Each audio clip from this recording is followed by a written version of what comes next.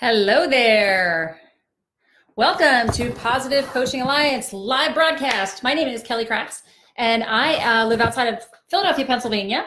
And I'm bringing to you a little bit of our PCA workshops live to you right now. This is really exciting opportunity for me. I love to do workshops. I have been a PCA trainer since 2009, and currently I'm on staff with PCA. So my role as a trainer is to share experiences and research with coaches, parents, and athletes so that they can be the best version of themselves they can be and to develop develop great kids and great people through sports.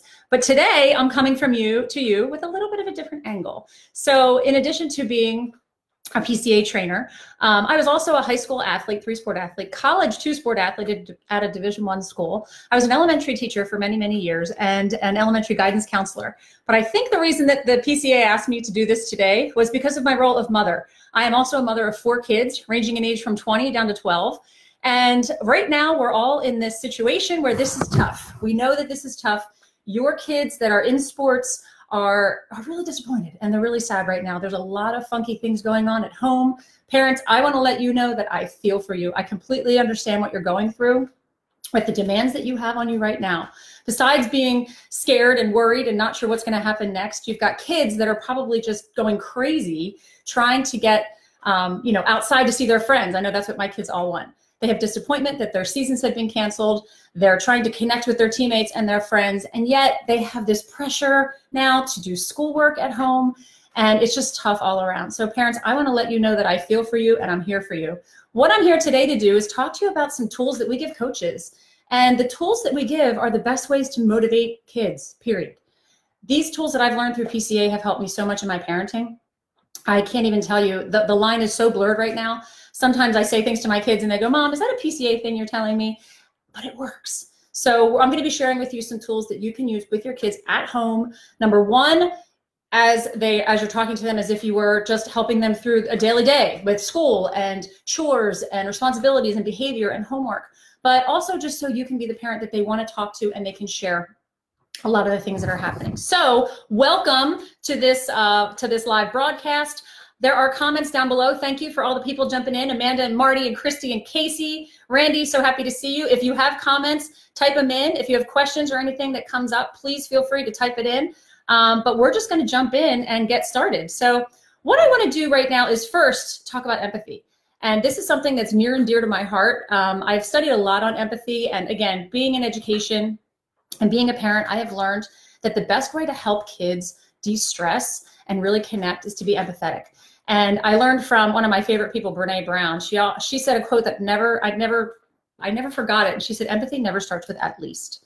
So I know as parents, if you're like me, you always try to find the silver lining in everything. And I think sometimes when you have kids at home, especially, I'm really my heart is hurting for the seniors right now. I have two college kids that have now moved home. Um, there's six people in my household trying to work from home.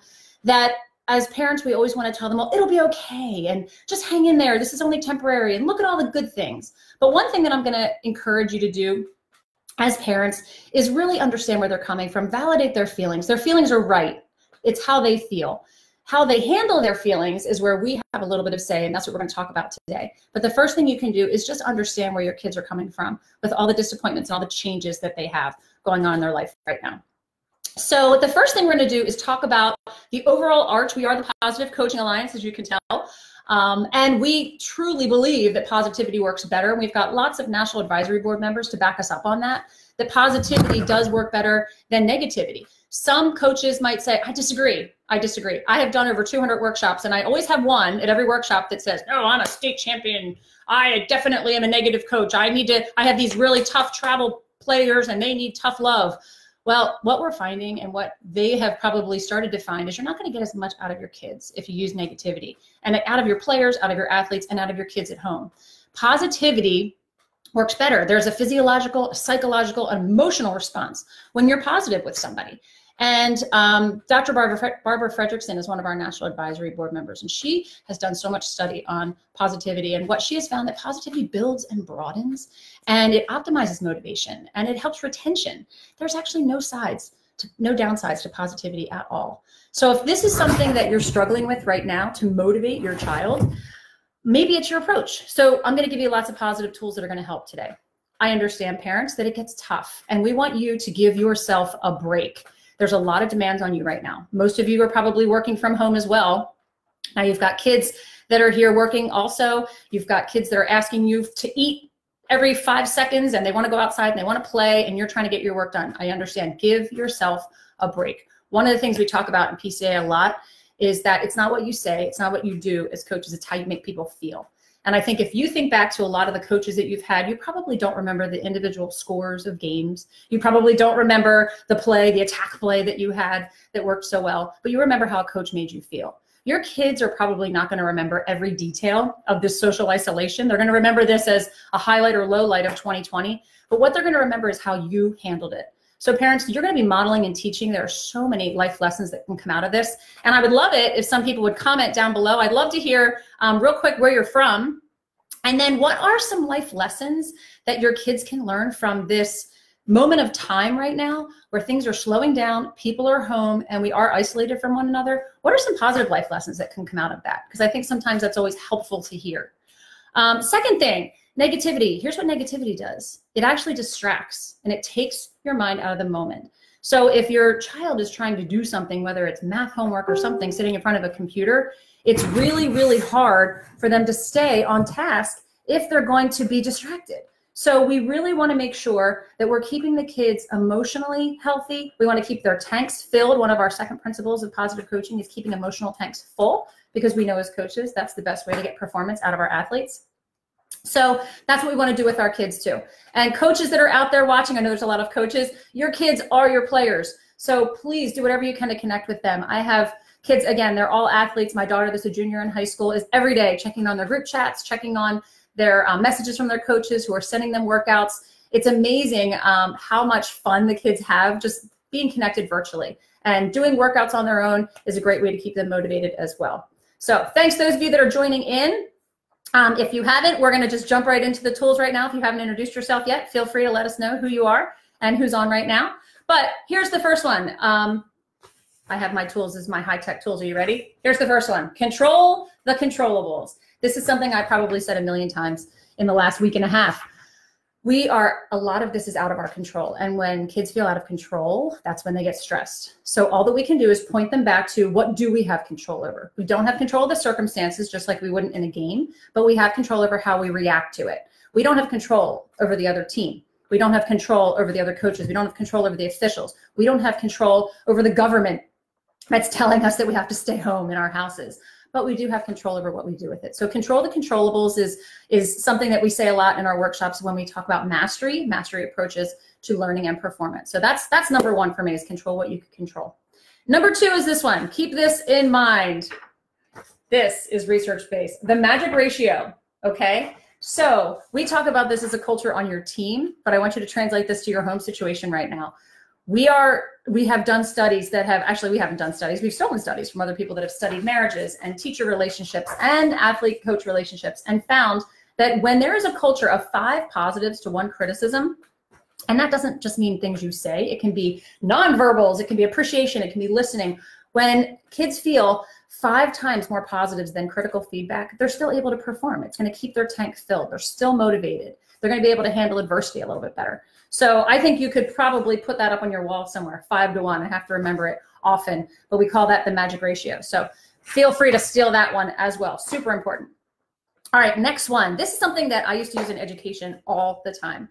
I can imagine a lot of you right now, and I've talked to a lot of my friends that have young kids especially, and they just feel like I don't have time to be harping on my kids to get work done right now. It's just not easy to do. So we end up saying no and we say don't and stop and get your homework done and do this and we're giving them a lot of we're telling them a lot of things to do.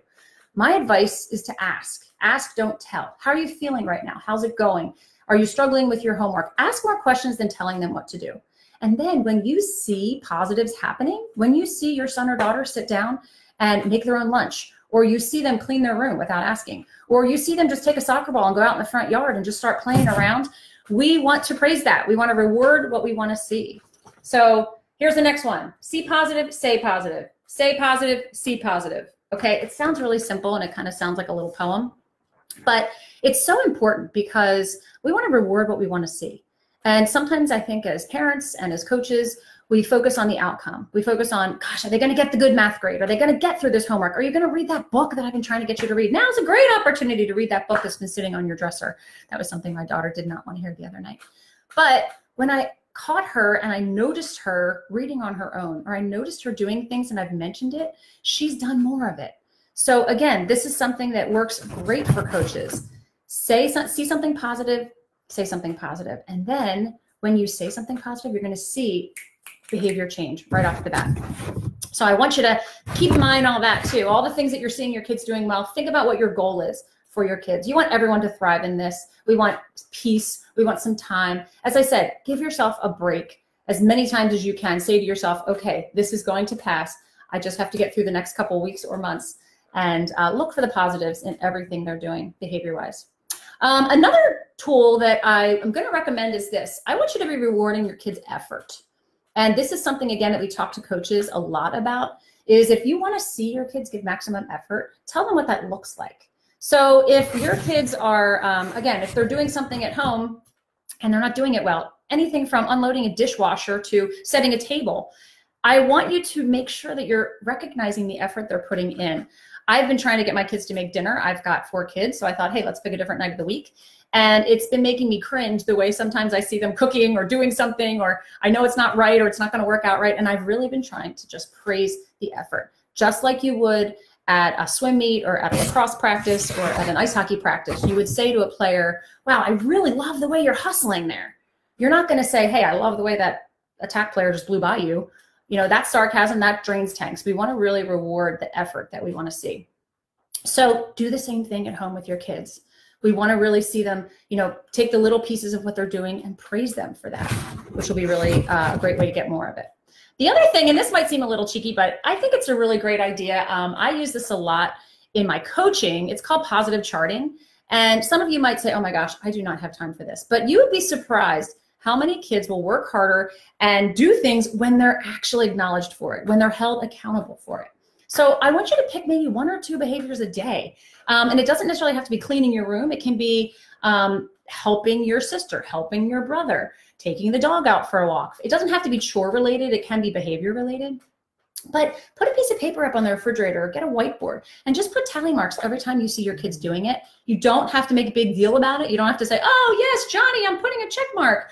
But see how much they notice. And when I do this with my um, young lacrosse players that I coach, I might put things on the list like, I see you taking a risk and switching to your non dominant hand. Or I see you cutting away from the ball so that you can be the second person to get the cutter. And these are the things I'm noticing throughout my practices. And then I see more of it. So if they decide to switch hands and they drop the ball, I'm not keeping track of how many times they dropped the ball. I'm keeping I'm keeping track of how many times they've attempted and they've tried.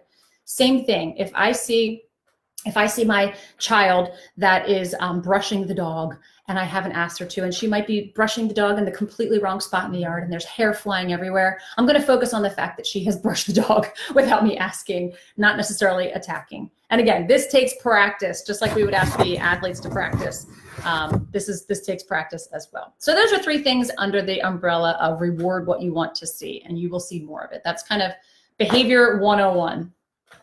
Um, now, the next part I want to talk about is this. What do you do when your kids aren't listening? This is a big issue, especially um, parents that have multiple kids at home and you feel like a broken record and you're saying the same thing over and over again. So here's my suggestion. We give this to coaches too, because sometimes coaches will say, my, my athletes aren't listening to me. They're doing the same thing they've always done and they're not listening. And we have a couple tips for this. And the first one is this make sure when you're giving them feedback that it's not a non teachable moment. We talk sometimes about what are the non teachable moments. Um, usually, the non teachable moments are when they're upset about something or when they're angry or when they're frustrated. In a game, it's probably right after they blew that shot or right after they disqualified that race, something like that. But it's just really helpful to um, think about when you're giving feedback, not always what you're saying. So if any of you have tips on that too, feel free to put it in the chat. Those of you that just joined in, we're talking about some tools to help us get through helping to coach your own kids at home. So thanks, Amy and Jeannie. Thank you for joining us here. Um, so that's the first one. The second one is be truthful and specific. When we're talking about rewarding effort and praising them for effort, try to just not use good job, buddy, way to go. Be truthful and specific. If you're truthful and specific with your kids, they're going to appreciate it more. So instead of saying, oh, wow, I love the way you put your shoes away, you know, maybe you could say something like, hey, you know what? I really like the way I didn't even have to ask you to do that. That was great. Or I love the way I saw you. I was in my office doing work and I saw you sprinting around the house. Buddy, that was great. I love how you're trying to motivate yourself to stay in shape and get exercise. So be truthful and specific about what your child or your player is doing, and you're going to see more of it. Anything sarcastic or anything that just seems like uh, generic, like, yeah, you did a great job. That's the kids are going to see right through that, no matter how young they are. So we want you to keep keep uh, keep the positives going, but make it make it specific. Um, Casey has a question. How should I encourage my kids to go do free play outside? We're going to talk about that in a second, Casey. We're going to talk about um, all the ways to get your kids outside. Thank you for bringing that up. Um, I would I would actually just say real quickly, if anybody has any suggestions to that, feel free to put it in the, the comment box. Ways to get their kids to go outside. I was talking to a colleague of mine in Minnesota today, and he said, "Oh, it's the weather's just been horrible." So I guess I'm lucky that my uh, I live in Pennsylvania. The weather hasn't been too bad. But how can you get the kids to go outside and do something fun, especially when they're ready to? Uh, they miss their team. So many kids these days just have the structure of the team. So we're going to talk about uh, a little bit later we're going to talk about how we can get the kids outside to have fun. Let me finish with two more things about feedback. So the next one is asking permission. This is something, again, that a lot of us don't think about. Like, why would I have to ask permission of my kids to give them feedback? But again, it just, it helps calm them down, it relaxes them, and it makes them more open to hear what you have to say. Hey, Jane, do you, have, do you mind if I give you a tip on that? Or, hey, can I give you a suggestion on how to set the table that might work a little bit better? Um, and your child might say yes or they might say no. But at least you've given them the permission to be able to say, Mom, I got it. Don't worry about it. Okay, then take the cue and walk away. The next one, if then statements are really helpful too. Okay, kids always want to know why. Why do I have to do this? What's going on? Why, why, why? If you phrase something as, you know, if you do this, then you might see a difference. So you might say something like, if you start your homework at nine o'clock in the morning, or if you start your work at nine o'clock, then by 10 o'clock, you can take a break and you can go outside and you can run, you can go on the swing set, you can kick a ball around, you can, you know, whatever, whatever's fun for your kids. Give them an if then, because then they see the call, the cause and effect, and they're going to be able to really understand why instead of just tell, tell, telling them what to do. And the last one is my favorite, the old criticism sandwich. Some of you have heard about this. I've heard a lot of people in a lot of different workshops call it a feedback Oreo or a criticism sandwich or a feedback sandwich. This is giving feedback to your child or to your player with a positive and then sandwich in a little correction or criticism and then end with a positive. And remember, keep those positives truthful and specific. So your kids are going to be much more willing to listen if they understand that you've actually heard them. All right, let's finish this out with this. Um, I want you to I want you to think about what you do when you have a little athlete at home that is going stir crazy right now. Kids these days, as we all know, are way overbooked and way overprogrammed, mine included. And I remember saying to my kids all the time, like, oh, back when I was a kid, one of those things you swore you'd never say. Back when I was a kid, we used to just knock on the neighbors' doors and go out and play kickball, or we would just get a game of tag together and it didn't wasn't organized and you didn't have to have an official. Well, here's the opportunity. Unfortunately, a lot of them can't knock on the neighbor's door and have them play, but this is an opportunity for free play. This is an opportunity for your kids to be able to get better at their sport of choice on their own and not have anybody watching or judging or keeping stats on them. So parents, let's use this as a great opportunity. Also, parents, don't feel like you have to micromanage everything they're doing. There's a lot of growth that can happen when parents aren't around, probably more growth for the most part. So I want you to think about this. Unstructured time is great for kids. And let them do what they come up with. Boredom is not the worst thing in the world. As long as there are structures in place that you have put out there. We want the kids to honor the game. It's another phrase, another principle that we use a lot. We want you to have rules in place. You can be on your screen. The hard thing with screen time now is the kids are on the screen for school, but there's um, there's a lot of things that parents can do to put in place schedules, time schedules. You've heard a lot of these things already, but find things your kids love to do, whether it's skateboarding, roller skating, shooting baskets in the driveway, um, putting up a sheet in the basement and letting kids throw a ball into the sheet something, put an old mattress, find an old mattress, pull a mattress off a bed you're not using, put it in the basement, let them jump around. Courtney uh, says, have them make a list of specific skills that they want to improve in any given sport. Sure, set goals for them. This is a great time in the off season, that's what I've been calling it around here. This is off season training. And you can work on a lot of things. My my daughter plays lacrosse and she's in seventh grade. And she said, you know, I can really work on my left hand right now. And so she's been out every day just going against the wall or going against the bounce back, working on her left hand. So it's a good opportunity to do that as well. Here's my my tip for parents. And um, again, I am I am guilty as charged. But here's what I'm going to say to parents, and this is kind of a relief sometimes. We encourage parents to never push your kids harder than they want to be pushed. The sports that they're playing, yes, we sign them up for them. Yes, it might not be the perfect sport, but if you are the one pushing your kid to get out and practice, it might not be the right sport for them. I want you to let your kids take the lead. If if you want your kid to say, "Wow, it's baseball season. You should be out throwing pitches and you should be out grounding balls. You should be out having a catch with the baseball." That's all fine and good. But if your kid really doesn't want to do it right now, you don't need to catch them up.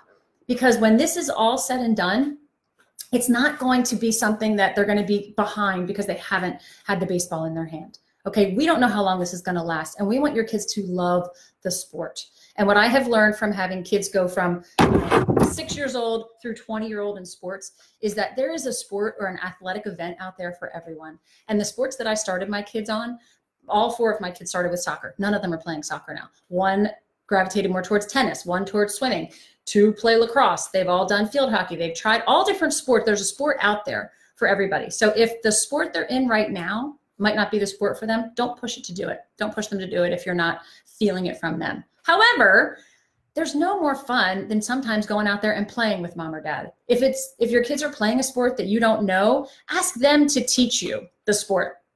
I had my daughter a couple years ago teach me how to play tennis. I think she did more laughing than teaching, but it was so much fun for her to, to just teach me something that I didn't know how to do well.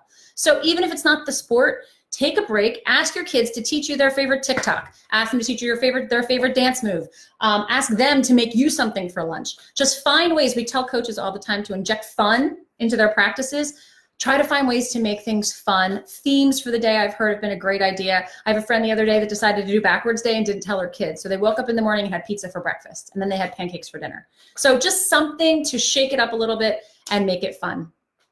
Um, that is that is that are they blah, sorry can't talk. those are the tools that i wanted to go over with you today and i went over with them fast but i would like to leave it open um, if there are questions that you have or anything you'd like me to get into a little bit more detail about please feel free type it below um, just to review again in case you missed it in the beginning while the questions are coming in the tools that we talked about for review number one is to control the controllables.